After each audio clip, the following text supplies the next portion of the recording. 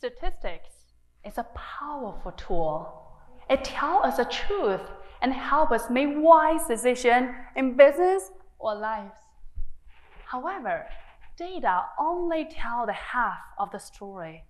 It does not take into consideration the context in which we find ourselves, our drive, our vision, our dreams that we might have.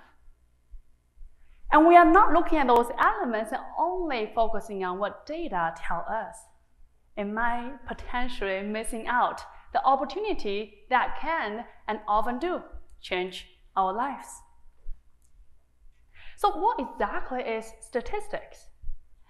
It's a representation of a data set collected over a period of time. Not surprisingly, have a clear finite beginning and a clear finite end. So then, any statistics we are viewing is all the data collecting in the past. And often, we use the data collected in the past help us to inform and predict our future. As a CEO and founder of my own business, while working with founders from all over the world, I understand statistics firsthand for startup. Today, according to research done by FailRate, 90% of startups fail. 10% of them failed within the first very year, and less than 3% of a female fund venture ever receive venture capital, according to Forbes. Had I relied on that data, it wouldn't make much sense to start a business. In fact, I don't know why people do, given that information. But when we factor in other elements, the vision, the dream, the drive that we might have, the entire picture shift.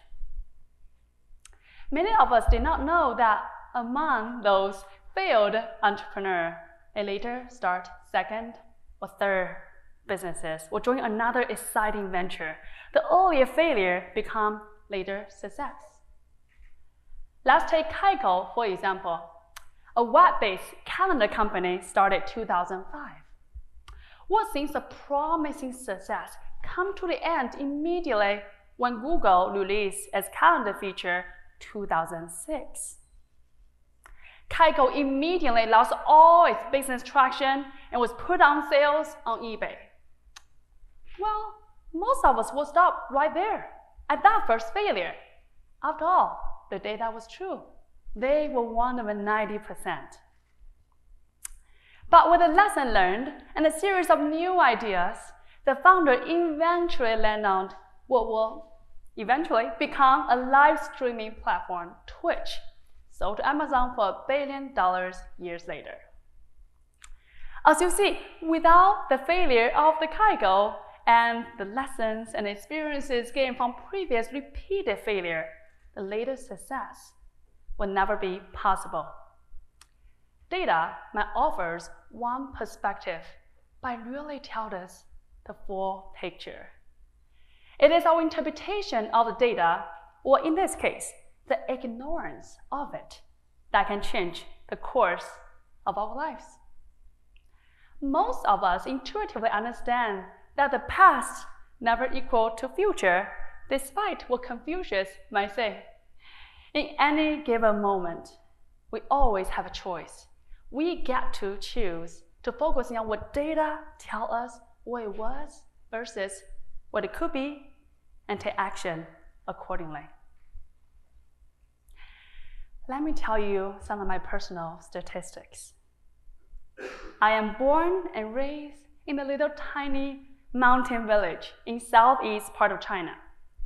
Where I come from, 33% of my family members complete high school. 0% of us finish college. 0% of us have a working internet. 0% of us have a car. So if you want to visit any nearby city, we hop on the bus, we go around the mountain and around and around and around. Eight hours later, you arrived. So as you can imagine, in a little charming town like that, people are born there, People live there, people die there happily.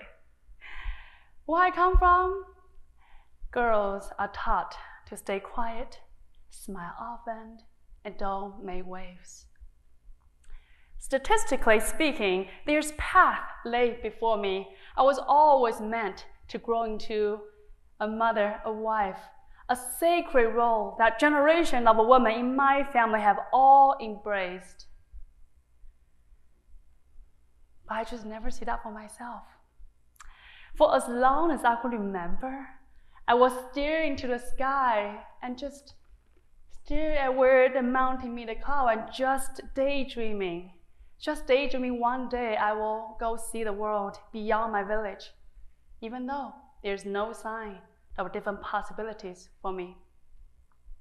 On one random library trip, I find a cassette machine and English tape in the corner. That moment, without knowing what that was, I thought, you know what? I'm going to teach myself English so I can possibly apply for college. Maybe that will be my ticket to see the world. So there I began. As an Asian, we always thought we were smart. So I thought, ah, easy peasy, lemon squeezy. She'll take me six months, a year. I should be on my way in no time. The journey was nothing like I anticipated. I sat for TOEFL exams and failed not just once, not just twice, but failed five times total. I was so disappointed. I was so defeated. I thought about what others have told me that I am so crazy, I'm so out of my mind to dream so big, to dream something so beyond my reach, time and time again. And maybe they were right. Maybe I'm just not good enough. Maybe I should just go back home, being that good girl the whole family, the whole village want me to be. Had I looked at that data, my path would be completely different. Another opportunity present itself for me after four long years try and nine major failures attempt. I finally succeeded. So 2011, I was on my way to the United States to start my American dream.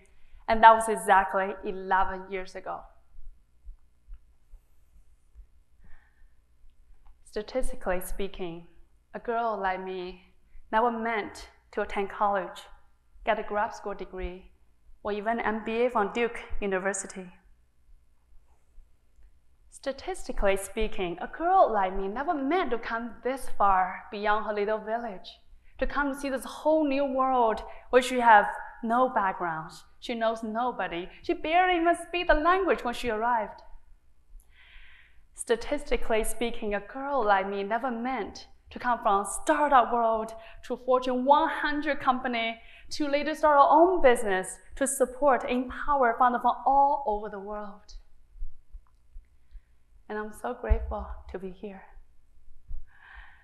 Had I relied on what statistics told me, I might not even have tried, or I would stop long before I succeeded. As I reflect on my own personal journey, as well as countless of other incredible entrepreneurs, business owners, I see three things they did to help them make their vision come true. First, they believe in possibility. Many of our greatest invention and prolific business start with one idea, one notion, and one belief that something else was possible. Despite challenge by the expert in the beauty industry, Jamie Kern Lima believed it should be a product designed for sensitive skin people like her and many others.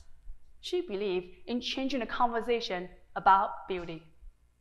It took Sara Blakely, the founder of Spanx, two failed attempts at law school, seven years of selling fax machine, yet she still believed in possibility.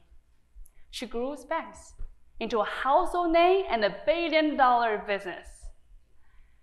There are countless of other innovators, entrepreneurs, and everyday people who believe in possibility. And in every single case, the odds were stacked against them. Yet, they persevere. In Chinese, the word crisis translates into wei ji, two words. The first word, wei, means challenge. The second word, ji, means opportunity. In our culture, we intuitively understand that on other side of a challenge, when we believe in possibility and when we persevered, that's when the opportunity arises. As I stare at the sky, as I dream about the world beyond my mountain, I have no idea how I will ever make it happen. All I knew is I have committed to a different future for myself. I make a decision. I have no backup plan. At least not the one I can live with. And that decision changed my lives. Second, burn the boat mentally. In his book, Art of the War, Sun Tzu taught his army to burn the boat and bridges as they advance to new territory. After burn the boat, the only way home is to succeed. At its core, burning the boat represents a commitment, commitment to never return. Therefore, all your mental efforts, your thoughts, your belief, focusing on succeeding and reaching whatever possibility you have dreamed for yourselves. It forces us to get creative because there's no other way. You have to make it happen. It is an act of burning the boat, give us actually extra strength to move forward. In my work with many entrepreneurs, I see so many founders work through their nine to five jobs as they start their business. It might make sense, especially at the beginning. However, clinging to your nine to five jobs while scaling your very exciting startup venture will actually hold you back. And send a signal to your investor as well as yourself that you don't believe it will work. Many people ask me, when how would you be this brave? How would you be that one person who ever left your family, your village? And yet I know deep down in my honest truth, I was not brave. I choose an easy path because I always know either I leave or I die. There's no other way. When I find a cassette machine and decided to learn English, I honestly have no idea what can happen. All I knew is I have to make it work. There's no backup plans. And that moment, that choices, changed the entire course of my life. Third, take action and wait. The only thing left to do is to take action and wait. Because after you burn your boat, there's no other way but moving forward. But yeah, this is the most challenging step among all. According to University of Scranton, today 92% of people who set New Year resolution never actually achieve them. If all of us all believe in possibility, why not many succeed? Let me tell you a little story. I don't know if you know, in our culture, Chinese people, we love bamboo. Do you know why?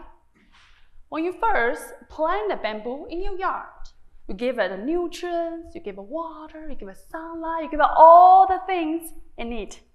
And you wait it a month later, a year later, four years, 11 months later, nothing happens. But yet at year five, within five weeks, the bamboo grew 90 feet tall, shoot up straight in the sky. In the past five years, what seems like nothing happened on the surface, it actually worked day in and day out, to grow its root firm in the ground to set a nice foundation to grow tall and strong in. Many of us will start taking action, like get on a new diet plan or start new workout routines. We love it. We try for 30 days.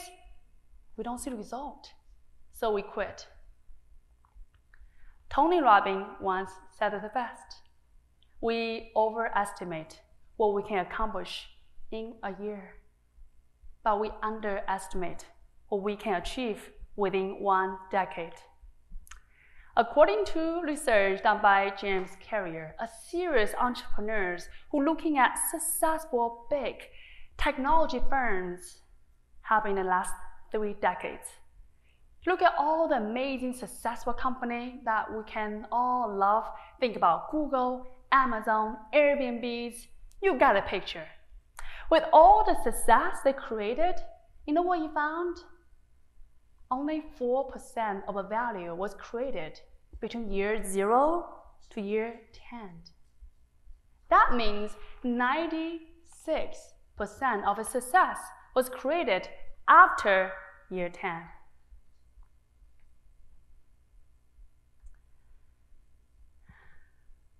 I know deep in my heart, a mountain girl like me never meant to come this far It only took me near two decades of every single day to believe in my American dream and hustle every single day so I can be good enough, so I can be humbly stay on the stage to share my story with you.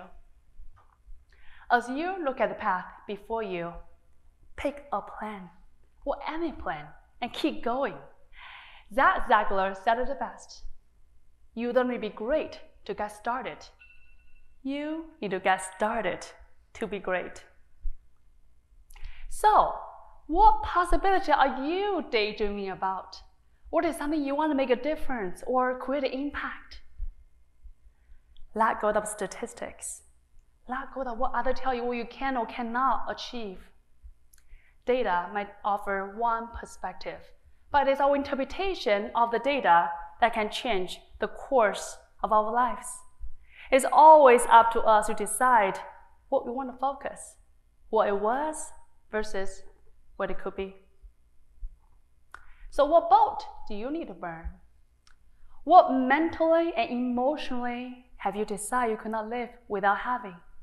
Is it a new career, a new adventure? And what action are you taking today and every day?